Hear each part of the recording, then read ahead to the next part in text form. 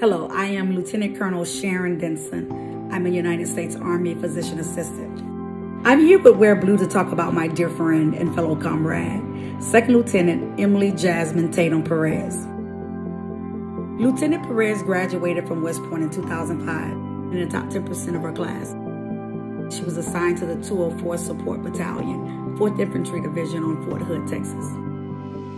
She joined the battalion several months before we deployed to Iraq to a combat zone. She was eager to lead. She was eager to learn. She was not afraid.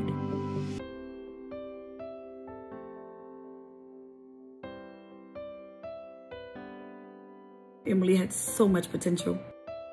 And I often think about where she would be today and who she would be today. I know it would have been something great. So I don't want people to remember how she died. I want them to remember how she lived. I want people to remember her legacy. I want people to remember that she believed in something so much greater than herself. I named my daughter, my only child, after Lieutenant Perez. And I get to call her name multiple times a day.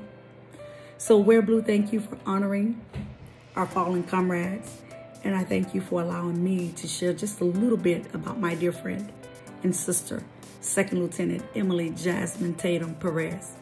Thank you. God bless.